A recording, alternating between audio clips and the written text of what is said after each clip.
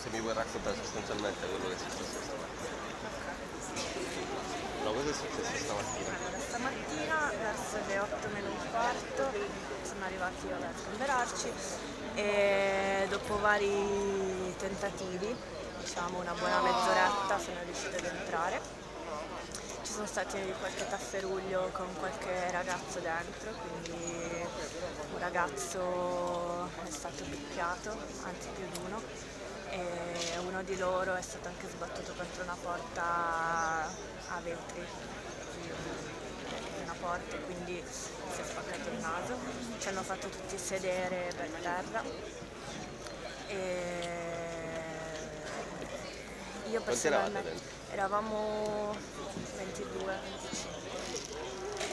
Io personalmente persa la maggior parte delle scene perché sono andata ad assistere a una ragazza che aveva delle crisi epilettiche e quindi sono stata con lei in ospedale.